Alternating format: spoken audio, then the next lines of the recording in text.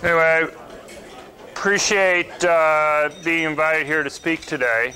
And, uh, you know, there's a lot of fear. Uh, there's a lot of fear. I, I, thought I was being connected with the microphone here. Uh, I guess I'll just ignore this. Um, there's a lot of fear about guns these days. It's pretty hard to avoid it. Um, the uh, uh, run into all the time. I have a dentist uh, who I was going to a while ago, and uh, he had gotten married about a year ago. He had grown up with guns, had served in the military, and uh, uh, but recently uh, he'd gotten married and they had had a child. And one of the things that his wife had insisted was that they remove all guns from the home. He, I guess, didn't quite agree with it, but it was not something he was going to be arguing with his wife about. I, another case. I had a friend of mine, a colleague, who um, whose wife had gone to the doctor, and uh, she had gone through the normal questions about family history the doctor had with her, and and but one of the questions they came to was whether or not they owned a gun in the home, and the doctor, of course, then emphasized when they she found out that she had the gun that uh, she hoped that that they at least kept it locked up, and that they would hopefully consider not even owning the gun. And I've run into similar situations where I've taken our own boys in for their annual medical checkups. I'm sure you all have probably run into similar types of stories yourself over time. And it's understandable the types of fear that people have about guns, uh, given the amount of news coverage about accidental gun deaths or other crimes that occur with guns. The question I'm concerned with, though, is whether this fear about guns actually increases people's safety or makes them makes them less safe. Because I think the bottom line to everybody is really the same. The bottom line is on net, does the presence of guns save lives or cost lives, and what impact do they have on the crime rates that threaten so many of us? And um, uh, a lot of this fear, as I say, I think is driven by the media, and and, and uh, people, I think, feel that they know a lot about guns and because of all the attention that you see in the media. We think we have some empirical basis for our judgments because of the news stories that relate to us crimes or other types of horrible events that happen with crimes. My, my concern, though, is that we constantly hear only about the bad things that happen with guns and rarely hear about the benefits. I mean, one question you may want to think to yourself is when was the last time you heard a story on the national evening news about someone using a gun to go and stop a crime or to save lives in, in some general case? My guess is most people, when they think about it, what do you want? They are, uh, are probably not going to be able to think of too many cases like that. And most people would be surprised or shocked to learn that our best estimates indicate that people use guns defensively about 2 million times each year. That's about five times more frequently than the best estimates we have for how many times guns are used in the commission of crimes. And there are lots of ways, I think, to kind of illustrate this asymmetry. I'll just spend a couple minutes on that. And that is, uh, you know, just a few weeks ago, we had a, a robbery that took place in, uh, in New York City at a Wendy's restaurant in which five people were brutally killed by the two robbers. And that understandably got a fair amount of national news coverage for, for a week or so. But I know of four cases within just a few days of that where citizens around the country used concealed permitted handguns to stop similar types of robberies. You have a situation just a few days earlier, prior to the Wendy's case, where a 70 year old man in Indianapolis, Indiana, stopped two robbers uh, from robbing a convenience store. Uh, the robbers had made it very clear to the three clerks at the convenience store that they were going to uh, uh, be killed afterwards. Uh, one of the sales clerks in particular was completely convinced that uh, they were going to be killed after the people had gotten the money. And but they were stopped by this by this older man who had a permit to carry a concealed handgun. The day of the the Wendy's attack, there was a robbery in Florida where a robber had used a knife to severely slash two uh, sales clerks there and was, was threatening to do serious damage to them further. When a 53 year old woman pulled out a permanent concealed handgun, announced that she had a permit to carry the concealed handgun, pointed at the robber, ordered him to drop the knife, or said she was going to shoot. repeated her threat a second time, upon which he dropped the knife and she held him there until police arrived. There was another case uh, in Fort Worth, Texas, just a couple days afterwards, where uh, a robbery at a grocery store was stopped, where it was pretty clear that the robber, frustrated that he wasn't able to get the money from the uh, uh the cash uh, register at the front, was threatened to go and kill people in the grocery store. But he was stopped by uh, a 50 year old man who had a permit. And I could go on and give you other cases. But none of those cases got news coverage outside of their local media markets. And I think part of the reason is, is that nobody was killed. And one could imagine if, uh, if the 50, if the 70 year old man hadn't been there in the case of the Indianapolis case and people had been killed, whether that would have gotten the same type of national news coverage as you got in the Wendy's case. But I think it goes beyond that. Um, uh, yeah, I think if you just generally look at news events, and you have, uh, let's say, a situation where you have a dead body on the ground, uh, and a sympathetic person like a victim. And another case where, let's say, a woman's brandished a gun and would-be attackers run away, no shots are fired, no dead body on the ground, no crime actually committed. I don't think you need a conspiracy story to understand why the first case might be considered more newsworthy than the second case. You're not even sure what crime would have been uh, prevented in the case of the woman who brandished the gun. But even though it might not be as newsworthy, if we care about the bottom line, about what types of policies are going to save the most lives, we need to pay attention not only to the newsworthy bad events, but the events that never become newsworthy because people are able to protect themselves. Now, I don't think that that explains all the news coverage. I'm happy to go through it more in depth later on because I don't think it explains why things like public school shootings that have been stopped by citizens with guns, why those don't get very much news coverage, or I don't think it explains some other instances we could go through. But um, I think it helps explains, in part, a lot of the fear that exists there. Because my guess is that if some of these types of situations where citizens use guns to go and save lives, even if they weren't in proportion to the rate at which people use guns defensively nationally. But, but as, even if there were at least some cases, my guess is it would make a big difference in the debate that we have right now in terms of a lot of the laws that are being talked about and what people think should be done. Before I, I get, maybe get back into that, what I like to try to do is uh, deal with a couple broad issues. The first one is deal with some myths that I think uh, relate to guns and crime that I think are more likely to endanger people's lives than they are to save them. And then I'd like to spend a little bit of time trying to go through some systematic numbers on the impact of uh, different types of gun laws on crime rates and accidental gun deaths. Um, just to go through the myths, I think the first myth to go through is the notion, is the issue of what someone should do when they're confronted by a criminal. What's the safest course of action that you should take?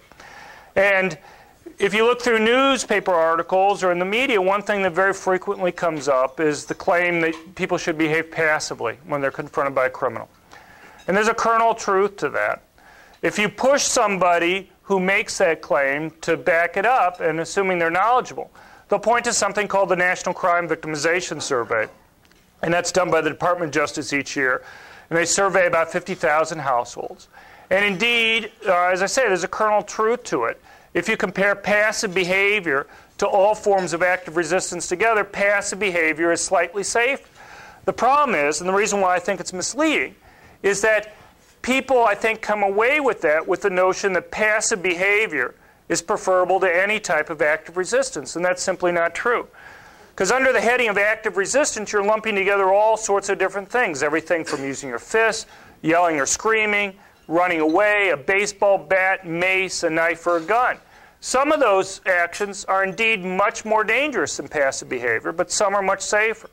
And I think just kind of lumping them together confuses the issue and is likely to have people make mistakes.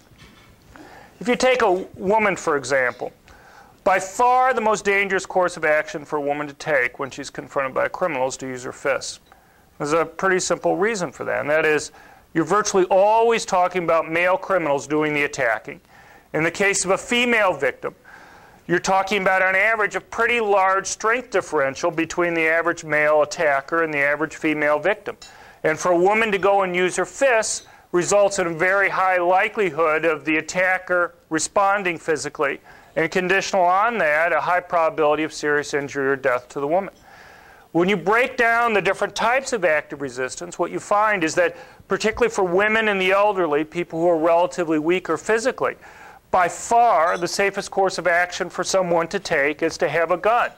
Women, for example, who behave passively when they're confronted by a criminal are 2.5 times more likely to end up being seriously injured than a woman who has a gun.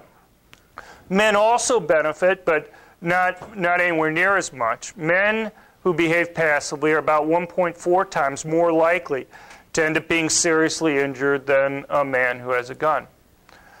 Um, another myth that I'm sure uh, we've all heard about is the claim that uh, most murders are committed by acquaintances. And uh, uh again, there's a kernel truth to it, uh, but again, I think it's fairly misleading. It's basically based upon two pieces of evidence. One is that if you go and look at the FBI uniform crime reports, indeed, about half of the murders in 1997 are committed by so called acquaintances. It's also based upon the notion that anybody could go out and commit a murder. Now, if you look at the first point, indeed it's true. That's what the FBI numbers say, that but almost exactly 50% of murders are committed by acquaintances. The problem is, is that I think that when most people hear that, they come away with the notion of an acquaintance being some people who are emotionally close to each other in some way. And in fact, nothing could be further from the truth. We don't have precise numbers on this at the national level, but it appears most likely that the largest category of acquaintance murders involves rival gang members who are fighting each other. That if you have if if you have rival drug gangs fighting against each other in a city, it's quite common for the members of one gang to know who the members of another gang are. And it's quite common for the police to likely to know whether these guys know each other or not. But acquaintance murders is even much broader than that. Acquaintance murders are going to involve murders involving drug buyers and drug sellers, involve murders involving prostitutes and johns or their pimps, uh, if a cab driver here in the San Francisco area picks up somebody that he perceives as a would-be fare, and two seconds after the person gets in the cab, he either stabs to death or shoots the cab driver, that's going to be classified as an acquaintance murder because of the perceived financial relationship that existed between the two parties. If the person had merely come up to the side of the cab and shot the cab driver, then that would have been classified as a stranger murder. But uh, you know, if you have somebody who drops off a package at your home, let's say a UPS driver or something, even if they don't say anything to you, if while they're there they see that, uh, well, you know, maybe it's an elderly woman who's living by herself, or at least he perceives that, maybe there's some valuable things that he sees maybe could be stolen. And later that night he comes by and he tries to rob her, uh, and she gets killed in the robbery then that's going to be classified as, a, as an acquaintance murder because of the previous relationship that they had had in terms of him dropping off the package. My guess is that those types of things aren't what most people are thinking about when they hear, uh, hear the term acquaintance murders. Now, um, there's one city that's done a very good job of uh, trying to keep this data, and that's uh, in terms of a precise breakdown of the relationship of acquaintance murders, and that's Chicago. And if you add together, look at the data from uh, 1990 through 1997, what you find is that uh, uh, if you add together uh, relatives, uh, friends, neighbors, which is in itself a fairly broad classification because it's people who defines people based upon how close geographically they live. And if you're talking about large public housing units, you can literally have tens of thousands of people who could be classified as neighbors and or roommates. So even if you add these fairly broad, some of these fairly broad classifications together, you end up with about 17% of the murders over that period of time fall into those categories. Now, I'm not going to argue that that's not important, but what I would argue is it's probably a lot smaller than most people might think in terms of, uh, of what they normally hear. The other part of this claim, as I said, is the notion that anybody could be a murderer. And, And no matter how you cut it, murderers are by nowhere near even close to being an, your average citizen. The uh, typical adult murder, 90% of adult murders have an adult criminal record. About 88% of juvenile murders have a juvenile criminal record. These are people with low IQs. They're overwhelmingly young males. Uh, and uh, murders are also very geographically concentrated. 80% of the counties in the United States have zero murders in any given year. And even the 20% of the counties that experience at least one murder, it's very heavily concentrated within a very narrow range of, uh, of those counties.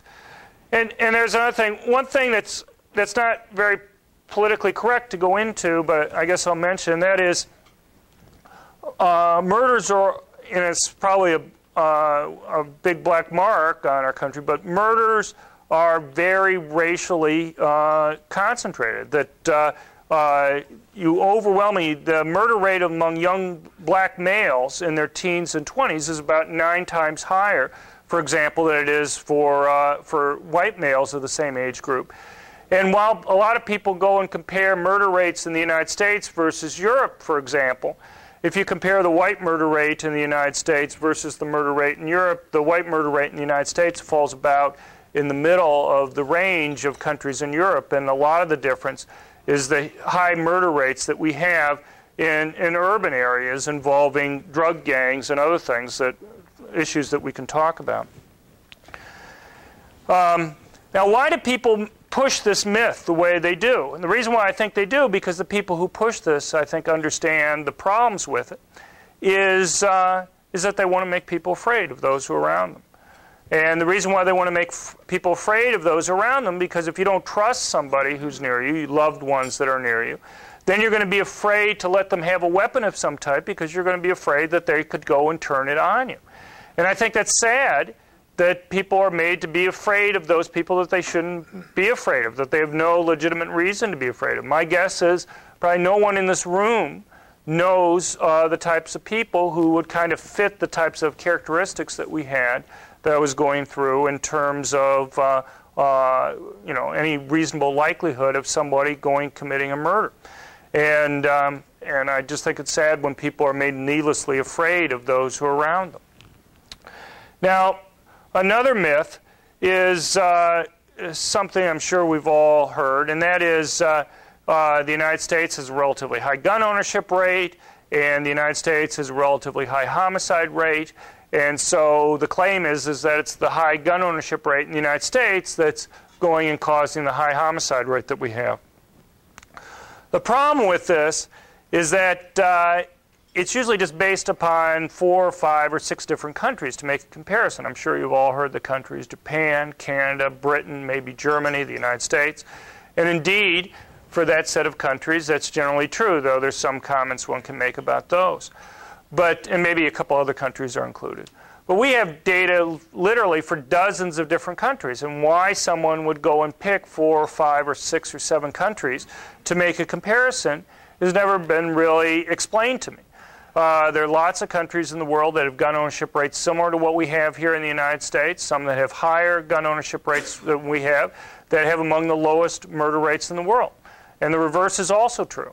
Um, uh, some of the countries that, uh, well, in fact, if you look at like about the 10 countries with the high homic- highest homicide rates in the world, these are all countries with very strict gun controls or bans.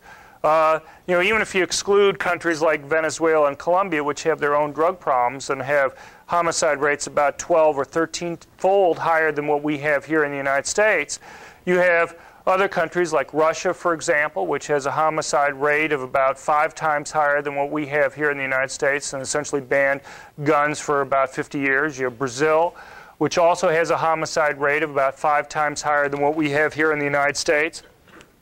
They had had very strict regula- re- registration and licensing rules since 1936.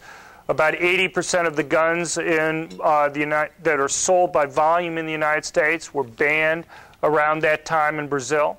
And recently, Brazil's gone the rest of the way and completely banned guns. And, uh, and yet, as I say, it has uh, one of the higher homicide rates in the world. And there are other countries that we can point to. Uh, the reverse is also true. If you look at countries that have high gun ownership rates, uh, in Europe, for example, you have Norway and Finland that have gun ownership rates roughly similar to what ours are, um, that have low homicide rates. Switzerland, uh, which has a significantly higher gun ownership rate than what we have here in the United States, even once you exclude uh, the fact that 18 to 52 year olds are required to keep automatic machine guns in their home uh, as a result of uh, compulsory military service. And just look at their privately owned guns. Uh, Switzerland has a handgun ownership rate of about 25 percentage points higher than what we have here. Uh, they have a much higher long gun ownership rate than what we have. And yet, Switzerland has traditionally had one of the lowest homicide rates in Europe. Israel which probably has uh, the highest gun possession rates in the world by far, uh, has, uh, has a homicide rate that's about 40 percentage points, 40% lower than Israel, for example. And uh, now there are lots of problems with making international comparisons. One of the biggest problems, and, I, and let me just back up a second, in, the, in my own belief, is that a lot of the noise that comes from the problems with the data makes it difficult to see, in fact, how strong the relationship is between gun ownership and crime, and that how stricter gun ownership is even more strongly related to uh, uh, increased crime than we find uh, in existing studies. But um, one of the biggest problems is how do we know what gun ownership rates are in different countries? Well, the way we learn what gun ownership rates are is through surveys. And the problem is, is that if gun ownership is illegal in the country or if it's extremely restrictive, it's very unlikely that people are going to come forward and tell you whether or not they in fact own guns in the country. There was, for example, a, a rather well-known survey uh, in the mid-1980s by the UN of the former Soviet Union, and the survey indicated that the official gun ownership rate in the former Soviet Union was zero.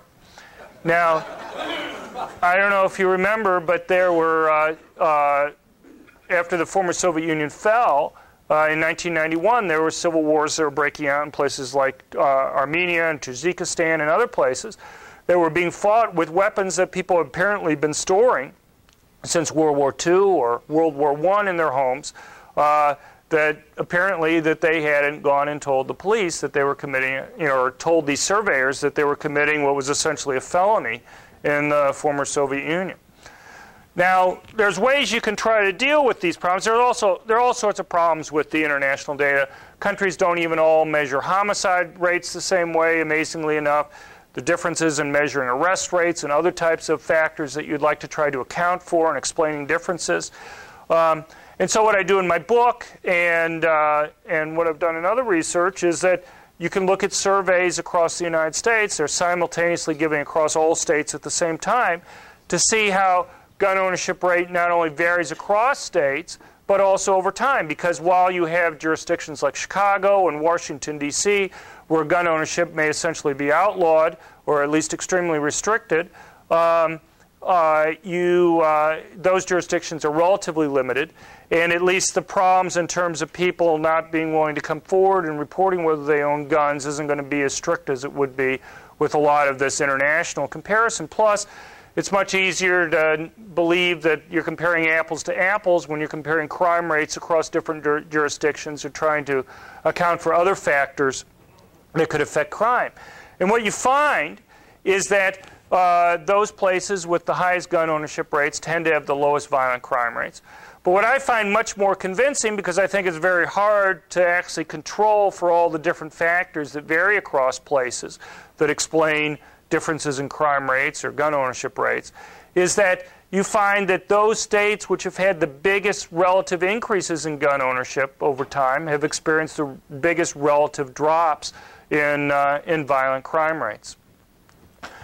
Now, uh, there's uh, another myth I'll go through, or at least we can classify this as a misleading statement, and that is the claim that uh, 11.5 or 12 children a day die from guns.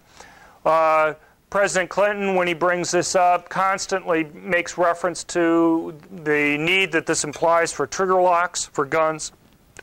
And if you've seen, as I'm sure probably all of you have seen at least a couple times over the last seven years, the public service announcements that the Clinton administration's put on making this claim, uh, you'll see the voices or faces of young seven and eight year olds. They've never included uh, pictures of voices of anybody age 10 or older. And surely the impression that these public service ads give and the comments that the president makes is that uh, these are young children that we're talking about.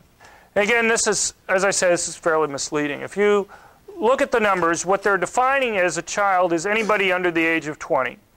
And it involves all types of gun deaths homicides, accidental gun deaths, suicides, as well as justifiable homicides. And overwhelmingly, these are people at the very top end of this age range. About 70% of the deaths involve 17, 18, and 19 year olds. Overwhelmingly homicides. Uh, appears to be primarily involved in uh, gang fights over drug turf. And uh, when you look at the types of uh, uh, the age range for those that are usually referred to, or at least one is implicit referred to in these ads, uh, children under the age of 10, you in fact find that only about 2% of these deaths, of these 11.5 deaths a day, involve children under the age of, of 10. And I suppose one point to bring out with regard to this is that uh, it's hard to believe that any type of trigger lock that you're going to require with the sale of a gun, or any type of locking device for that matter that you may want to have, is going to stop an 18 year old gang member from getting into a gang fight over trying to control drug turf. It might make sense, might be possible to stop a nine year old from going and getting a gun. Uh, but it's not going to stop uh, somebody who's essentially an adult from uh, improperly using a gun. And so it's, you know, it's just, it seems like the vast percentage of that number is irrelevant to the type of claim that's being made. Now, the final myth that I'll go over is the notion or the claim that I'm sure we've all heard. It's probably the most pernicious one about uh, uh, having a gun in the home is more likely to kill you or a loved one than it is to be used to kill in self defense.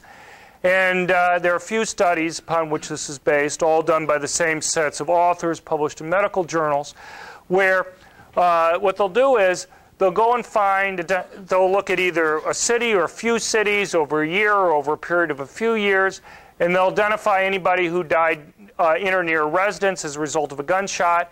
And then they'll ask the relatives of the deceased whether or not that person owned a gun or whether somebody else in the residence owned the gun. And then what they'll do is they'll put together a comparison sample where they'll find people who are the same age, sex, and race who lived within a mile of the deceased and ask them whether they owned a gun, and then essentially run a regression on whether you owned a gun uh, or whether uh, uh, the person died on whether or not they owned a gun, and they find a, a positive relationship. Now, there are a couple of big problems with it. There are lots of big problems. I'll just go through a couple.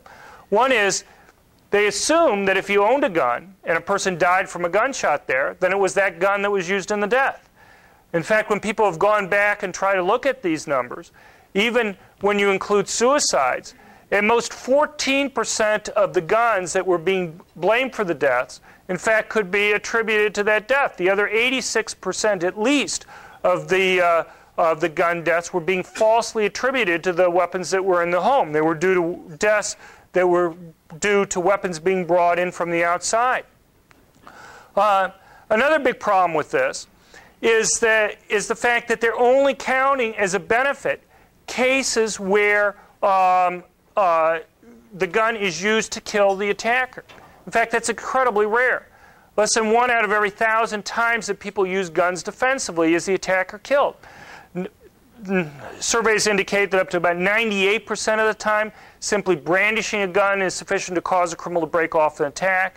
And about the 2% of the time when the gun's fired, about three quarters of those are warning shots. Less than one half of 1% of the time is the weapon fired in the direction of the attacker. And a lot of those don't even hit. And uh, woundings are about eight times more frequently than the attackers killed. And so, what essentially what you've done is you've given zero weight to all those cases where simply a brandishing was sufficient to cause a criminal to break off an attack. And you've given zero weight to cases where you fired a warning shot. And you've given zero weight to cases where you've actually wounded the attacker or fired some type of uh, warning shot. And, uh, you know, there are other problems I could go into there, but basically what you find is that when you look at all the data for the United States and look at changes in gun ownership and try to add up uh, any deaths that might result from accidental gunshots or suicides as well as murders, what you find is that on net, the presence of guns definitely saves lives as, as opposed to uh, uh, costing lives. Now, what I like to try to do is just spend some time on a couple of uh, laws that have gotten a lot of attention recently. Um, uh, one type of law has to do with uh, some of the discussion I, I, had earlier about the trigger locks, because my guess is that if any type of gun legislation passed Congress this year, it would involve mandating trigger locks or some type of safe storage of guns. Uh, 18 states now, with the passage a couple weeks ago in New York, now have some type of safe storage legislation where essentially they make it a, a crime, either a misdemeanor or a felony. If someone stores a gun in such a way as uh, a juvenile, and the age, what's defined as a juvenile, varies across different states, gets a hold of a gun and uses it improperly in some way. Now, the benefits of these laws are, are pretty straightforward to state. The claim is, is that uh, requiring people to lock up their guns will reduce juvenile accidental gun deaths, they'll reduce juvenile suicides, and the claim is that they'll also reduce crime rates because by making it more difficult for criminals to go and get a hold of a gun in terms of a residential robbery or burglary, uh, it's going to make it more difficult for them to go and turn around and use guns in uh, commission of a crime. The problem is when you look at the data, you don't find any of those things. What you find, in fact, is that there's no change in either juvenile accidental gun deaths or suicides, uh, but there in fact is an increase in violent crime rates that occur when these laws get passed. And when you look at the data, it becomes pretty clear why that's, why that's true. If you take the issue of uh, juvenile accidental gun deaths, first of all, my guess is these are probably a lot less frequent than most people might think. In 1997, for uh, children under age 10, there was uh, 48 accidental gun deaths in the United States. Centers for Disease Control identified five of those as involving handguns. Um, uh, but my guess is also when most people hear the, that number, they come away with the thought that it's a young child shooting another young child under age 10. In fact, that's simply not true. Uh, you literally only have, it appears, a few cases a year where a child under 10 shoots another child under age 10. Um, the typical person who accidentally fires a gun is someone who's in their late teens or 20s, who's a male, who's either a drug addict or an alcoholic, who uh, has uh, a arrest history for violent crimes, and in fact is probably uh, quite likely to have their driver's license suspended at the time of the accidental shooting. And there are a couple key things, I think, to bring away from that. The first one is um, while it might make sense that uh, a gun lock might stop someone under the age of 10 from accidentally firing a gun, it seems very difficult to believe that any type of locking device that you're going to have is going to stop a 24 year old male, let's say, from accidentally firing his own gun. It's simply not meant to try to stop that type of situation. The second point is that uh, the households in which there's some risk occurring, these are not particularly law abiding households. And there's a real question whether or not these are the types of people who are going to be going out and obeying the law. Um, uh, you know, a few months ago, we had this situation in Michigan, the Kayla Rolland death.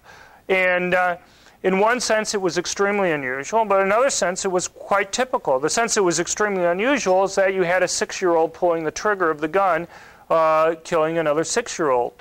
The case in which it was much more common was where did he get the gun?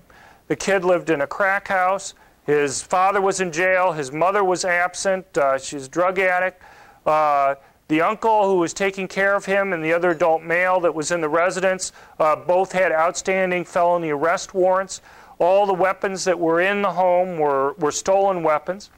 And I know President Clinton likes to claim that the young girl would be alive today if the trigger lock legislation had passed last year. But it seems at least questionable to me whether or not these people would have gone out and retroactively, even though they weren't even required by law, technically, to go and buy trigger locks to put on the stolen guns that they had in the home. But, but the concern that this raises is this, and that is whose behavior is going to change as a result of passing these laws? My, my guess is, and I think the data shows this, is that when you see these laws get passed, you see a drop. It's the law abiding citizens who are going to change their behavior. You see a drop, a sudden one time drop in gun ownership that occurs when these laws get passed. And the longer that they're in effect, the greater the percentage of the population that owns guns, uh, the greater the rate at which they lock up their guns. And, and that poses uh, a real possibility here that people are no longer going to be able to have guns to be able to use defensively. And even if they do have the guns in the residence, they're not going to be as quickly available to be able to use defensively as, uh, as they were previously. And so what you have to wait is any possible reduction that you might have in terms of juvenile accidental gun deaths with uh, any changes that might occur in terms of things like crime rates. Now, uh, let me see if I can. Now, what uh, this first graph shows, this is just the raw data for uh, uh, accidental deaths for juveniles. Uh, looking at before and after the passage of these state safe storage laws. This is for data from uh, 1977 through 1996. This line here in the middle, essentially year zero, is the year the different states passed the law. In one state may be 87, another it might be 95. And these are uh, the years after the safe storage law, the first year, second, third, fourth, and these are the years prior to the adoption of the safe storage laws. And these are for the states that had the law in effect for at least four years. And uh, this top line is for all accidental deaths from all sources. It's actually about 10 times higher, but I divided it by 10 just to be able to kind of get it on the same graph as these other two lines that we're going to look at. This middle line here is for all accidental gun deaths involving juveniles under the age of 15. And this bottom line here is for uh, accidental handgun deaths for children under the age of 15. And um, there are 15 states that had the law in effect for at least four years here. And there are a couple things you see. In fact, there is some drop in overall uh, accidental gun deaths for juveniles of about 30% or so. Uh, virtually in, the entire drop is in two states, though uh, Florida and Iowa. The other states, the other 13 states, there's basically no change. If you look at accidental handgun deaths, though, it's very flat, and then it actually rises. It actually ends up about 30 percentage point, 30% higher than it was uh, before the start. So this is uh, some mixed evidence. There seems to be some overall decline in uh, in uh, juvenile accidental gun deaths. But one thing to do is to compare it now to the states that didn't change their laws over the same period of time. Now, on average, the states that passed uh, uh, these safe storage laws did so in about July 91. And so if you go up to 91 here, um, what you find is that actually there's about a 60% drop in juvenile accidental gun deaths over the same period of time for the states that didn't pass a safe storage law as compared to about the 30% drop that you had for the states that did. And if you look at handgun deaths, what you find is that uh, uh, uh, you actually had about a 60% drop in accidental handgun deaths for children under the age of 15 for the states that didn't change their laws as compared to the actual increase in uh, and handgun deaths, which one would presume you would, you would expect normally a priori to get the largest benefit from that because that's usually what people point to in terms of the benefits. And I also just mentioned over that same period of time, you're having a big drop overall in all types of accidental deaths too. So it's really difficult to see any unusual drop that's occurring just in those states that pass the uh, um, uh, safe storage laws. In fact, if anything, they seem to have smaller drops. Now, I won't go through the suicide stuff very much because I don't really think there's much of a debate in the academic literature over this. People who have looked at the presence of guns uh, in the home, the availability of guns, uh, the vast majority of studies, most studies don't find any impact on, on suicides with guns.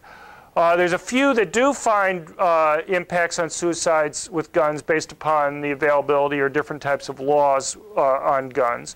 But even the few that find some effect on suicides with guns, no one finds a relationship between different types of gun laws and total suicides. And I think what most people believe is that uh, even if you can impact this one particular method, somebody can go and commit a suicide, you're not going to change the total number of suicides. You'll change the method in which people go and commit suicides. And I'll just show you one thing from this graph here. The one with the squares, this is the suicide rate for juveniles under age 15 with guns.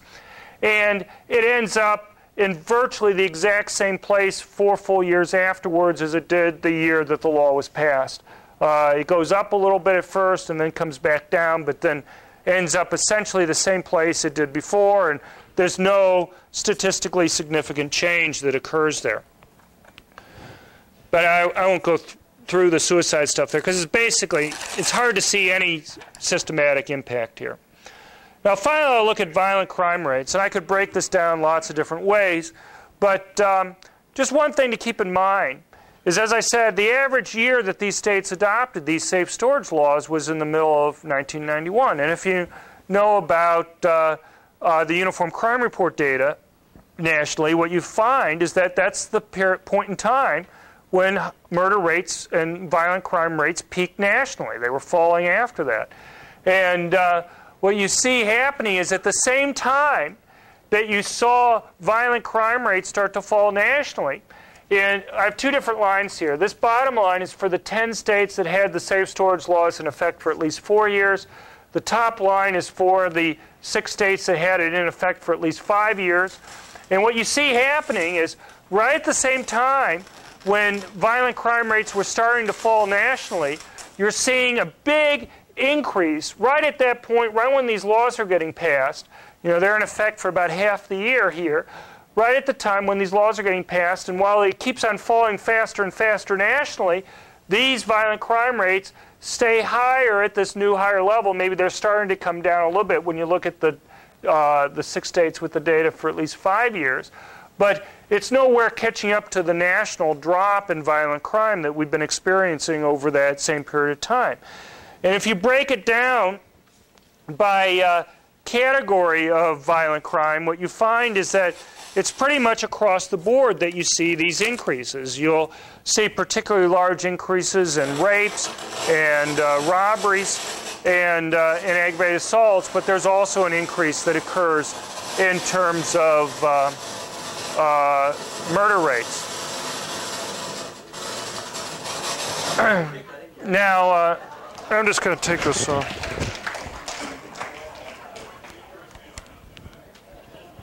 All right. I'm just going to take this off. The um, now another law. Well, that's uh, but I'm not going to maybe. Now um, uh, another law that uh, gets a lot of attention is uh, are these concealed handgun laws that we now have in uh, 31 states in the United States. Right to carry laws. There's another 12 states that have more restrictive laws. The 31 states are usually referred to as right to carry states. They have certain objective criteria. Once you uh, meet certain requirements in terms of uh, uh, criminal background checks, in terms of uh, uh, paying your fees, uh, being a certain age, about half the states require some type of training, then and you apply for a permit, then you're automatically granted the permit. There are another 12 states which are more restrictive. They're called may issue states. And basically, what those have is that um, uh, what's going on here? The uh, um, uh, they have uh, what's called discretion, where some local public official uh, has to uh, approve you. Has you have to demonstrate need to them that you have. I'm supposed to guess which way you're going to be going in a second here on this. Why don't we just keep it off and I'll just try to speak louder. um, and that is, uh, you have to demonstrate need to some local public official. And uh, in those states, grant many fewer permits, uh, and also the types of people who get permits tend to be quite different. Uh, and then there's seven states, uh, plus the District of Columbia, which don't allow people to uh, carry concealed handguns. And uh, uh, now, we have a lot of data now on this, and we can look at a lot of issues about what happens to crime rates generally, and we can try to account for lots of factors that uh, can explain changes in, uh, in violent crime rates over time. And what you find is that even after accounting for things like arrest rates, conviction rates, prison sentence lengths, the death penalty, many different types of hiring policies for police or, or police policies in terms of law enforcement, as well as income, demographics, poverty, things like illegal drug prices. What you find is that those states that adopt these rules have drops in violent crime rate. They're faster than any national drops that you have in violent crime, and also faster than other states in their region. And that the drop uh, increases over time the longer these laws are in effect. And I'll just show you for overall violent crime rates. This is like the other diagram that we had. This is year zero when different states adopt these laws. This is the data from 1977 through 1996 for all the counties in the United States. Violent crime rates were fairly flat right up until the point in time when these laws were adopted, and then they began to fall. And the size of the drop, as I said before, increases the longer these laws are in effect. And basically, there's a very simple reason for that, and that is uh, the percentage of uh, the adult population with these permits changes over time. That when you first pass these laws, uh, very few people who are eventually going to go and get the permits rush out and get it right away It can take 10, 15 years before you kind of end up with the steady state level uh, in the state with people getting permits. You know, for example, for Florida, first year after they had the law, they had about 30,000 people with permits. Four years after the law was in effect, they had about 67,000 people with permits. About 10 years after the law was in effect, they had about 192,000 people with permits. And now there's about 250,000 active permits in the state. And basically, what you see is that as the probability that an adult in a state is going to be able to defend themselves increases, you see bigger drops in violent crime. And, uh, and you see this in other types of uh, for violent crimes also. Let me show you for, uh, for murder rates. Murder rates were fairly flat up until the point in time when these laws were adopted and began to fall. Rape rates are fairly dramatic. They were actually rising on average relative to other states up until the point in time when these right to carry laws were adopted and then began to fall after that. And then uh, robbery. Robbery rates were falling or rising right up in, fairly quickly right up until the point in time when these laws were adopted and then began to fall. And then for aggravated assaults, the states that ended up adopting uh, right to carry laws, actually their aggravated assault rates were actually falling relative to other states up until the time when the law was adopted, and then began to fall even faster than they were previously after the, uh, the adoption of these laws. You know, there's lots of things we could look at here I could go into, but um, uh, for time I won't go into it. But the, um, uh, you know, let me just summarize with a couple points here. Um, there are lots of things that affect crime rates. And uh, my research indicates that the most important single factor, I think, is the police. And now, that said, uh, I think the police themselves even realize that even though they may be extremely important in reducing crime, as I say, probably the single most important factor, they simply can't be there all the time. They virtually always arrive on the crime scene after the crime's been committed. And I think that raises an important question that needs to be answered. And the question is, what do we recommend that people do when they're having to confront a criminal by themselves? And it, it's a question that people just don't want to seem to address. I mean, they want to just kind of assume that the crime will go away. You know, they'll say things, well, I don't want to live in a society where people find it necessary to go and be able to have a gun to defend themselves. It would be nice if we lived in a world without violence. It would be nice if we lived in a world where nobody else had nuclear weapons, too, or something like that. But uh, unilateral disarmament's not always the wisest course of action for one to take in these types of situations. And, and the data, I think, overwhelmingly shows that by far the safest course of action for someone to take is, is to have a gun. And, um, uh, you know, it's interesting uh, people who want to have restrictions on gun ownership, you know, when when it comes to the bottom line, they seem to frequently act in ways that they believe this to be the case. I mean, not only do you have somebody like Rosie O'Donnell, who recently uh, it came out that uh, she has her, arm, her bodyguards getting guns to be able to protect herself. I mean, she'll make the argument. I mean, here's somebody who just in the middle of May was on this week with Sam and Cokie and arguing that uh, there should be no laws that allow citizens to be able to go and carry concealed handguns, nobody other than police. And, uh, uh, and uh, she's argued that anybody other than police that has a gun should go to jail. Now, but uh, she somehow makes the claim now that, well, she feels threatened by violence, and that's the reason why she thinks it's necessary to go and have a gun. But the problem is, that's the reason why anybody has a gun defensively. It's not just a situation that's unique to herself. She makes the argument that, uh, well, she still personally doesn't own a gun.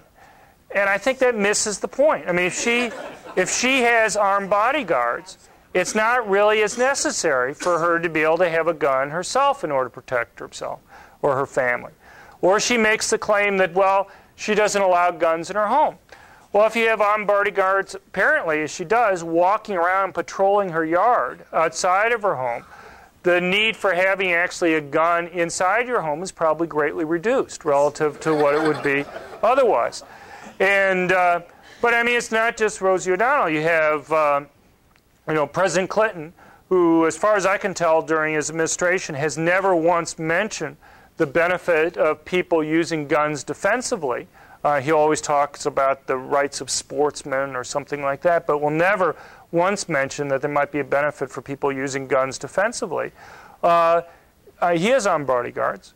I mean, apparently he thinks that there's some deterrence effect from that. I mean, if he really didn't think that this was an argument to be made at all about defensive gun use, there's an easy way for him to demonstrate that, and that is to disband the Secret Service or something, or at least not have them protect himself. But it's just not, it's just not President Clinton. You also have a whole range of things. You have Andrew Cuomo, who's saying that we need to buy back these guns from uh, public housing units. And even when he's confronted by the evidence that indicates that there's no criminals turning in their guns, these are law abiding citizens, and uh, most of the guns they're also turning in are inoperable guns. But uh, you know, he'll say, well, even if we can just get rid of a couple guns from even these law-abiding citizens, that's great. You know, here's a guy who has round-the-clock bodyguard protection, even in some of the safest areas in the country. Uh, he wouldn't think about going around without that.